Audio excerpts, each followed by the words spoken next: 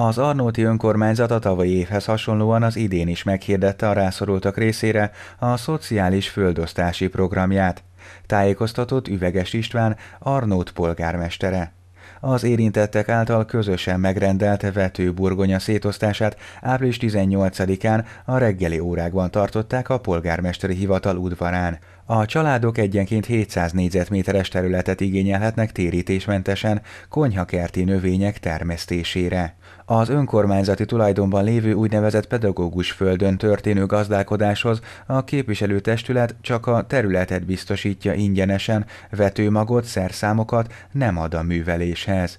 Ebben az évben 26 család jelezte a földművelési szándékát. Tavaly összesen 15 család igényelt földterületet, szinte valamennyien a roma nemzeti kisebbséghez tartoztak. Az önkormányzat a saját használatában megmaradó, közel 3 hektáros területen a község konyhájának egyebek mellett burgonyát, hagymát, babot termel majd a Start közfoglalkoztatási program keretében.